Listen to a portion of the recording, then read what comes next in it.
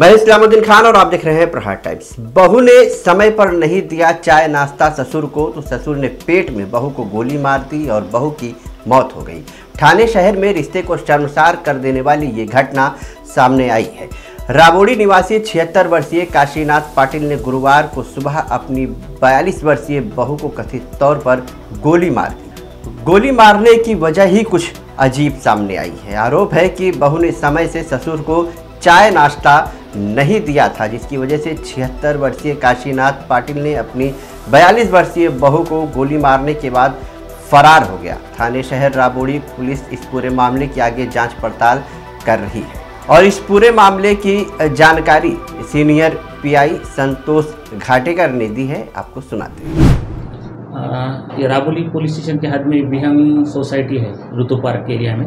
तो वहाँ उसके ससरे का और उसकी बहू का, दोनों में आपसी नाश्ता न देने के कारण से विवाद था। तो उस, उसकी बहू हमेशा उसको नाश्ता वगैरह देती थी, लेकिन उस, जो ससुर था उस, उसने लोगों में जाके बोला कि मेरी कुछ देखभाल घर वाले करते नहीं, नाश्ता वगैरह देते नहीं। तो उस वजह से और वो उनके बहू को मालूम हो गया। तो उन्होंने उस कारण से उसको सब दे के भी हम वो ऐसा ऐसा ही करते तो एक दिन उन्होंने नाश्ता ही नहीं दिया उसको।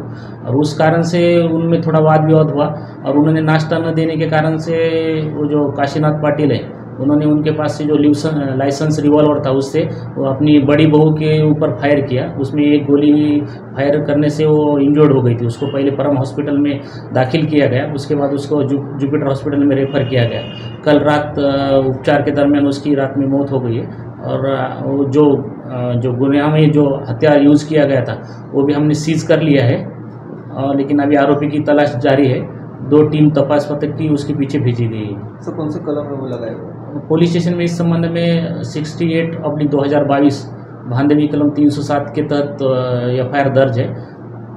आरोपी का सर बैकग्राउंड क्या? है आरोपी उम्रदार है सेवेंटी फोर ईयर्स उसकी उम्र है और कंस्ट्रक्शन लाइन्स में पहले काम करता था और उसके पास वो लाइसेंस वाला वेपन है।